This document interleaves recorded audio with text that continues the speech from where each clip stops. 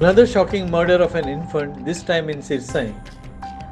This time it is alleged that parents itself who are life givers allegedly beat the girl to death. Colvale police detained the father and mother of the Sirsaim girl.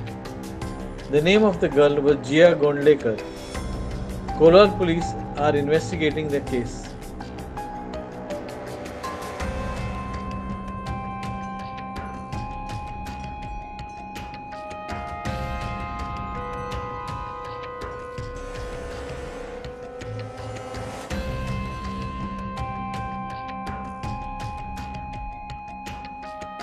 Prakash Gadekar for Herald TV.